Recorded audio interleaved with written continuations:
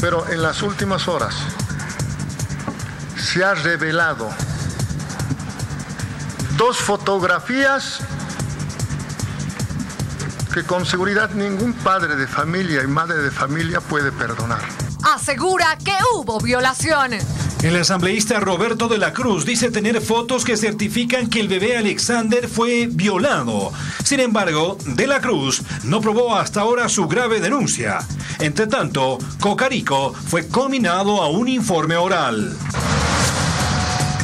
visto en algunos departamentos hay descontentos, hay molestias, desconformes con los candidatos, candidatas que están yendo a, representar al movimiento al socialismo. Molestia masista.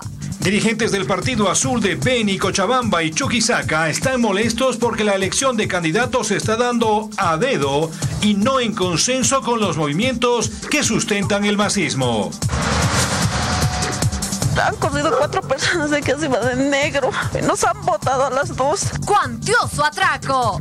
Cuatro ladrones le robaron la friolera suma de 200 mil dólares a un librecambista. El hecho sucedió en Villa Victoria, a plena luz del día implicaría eh, delitos que deben ser denunciados justamente al Ministerio Público y es nuestra obligación hacerlo. Va a la justicia. Los líos en el Consejo Municipal de La Paz terminan en los estrados judiciales. El extinto MSM decidió enjuiciar al presidente del Consejo Municipal, Omar Rocha. Rocha frontal contra el contrabando es, evitar eh, la manufactura usada que hace daño al, país y a la producción nacional. Marcha en el CONAMIPE. Se movilizaron los microempresarios demandando que el gobierno de una vez inicie acciones de hecho contra los comerciantes de ropa usada. Su marcha generó nuevamente el caos vehicular. Qué lamentable, por eso rechazamos esa actitud, pero sí, embargo, vamos a pedir al, al al Ministerio Público que tome las cartas en asuntos que quieren enjuiciar a Pierola. El oficialismo no descarta querellarse contra la diputada Norma Pierola por discriminación, luego que no quiso estrechar la mano de Evo Morales. Pierola no teme un juicio.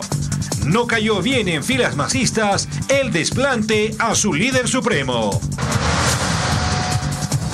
Donde han habido grandes diferencias es en la propaganda electoral, es decir, en el acceso a los medios de comunicación con mensajes pagados. Una brecha. Un experto en temas electorales considera inadmisible la brecha que existe entre partidos, frentes y agrupaciones en el acceso a la propaganda política. Cree que es una brecha que debe ser cerrada. El presidente Juan Manuel Santos confirmó que el equipo negociador del gobierno colombiano volverá a La Habana para continuar con las conversaciones de paz en el mundo. El presidente de Colombia, Juan Manuel Santos, confirmó que retomará las negociaciones de paz con las FARC. México vivió una nueva noche de violentos disturbios. Y les contaremos que el Papa Francisco calificó como un crimen de lesa humanidad a todas las formas de esclavitud moderna, como la prostitución. Bienvenidos a Notivisión.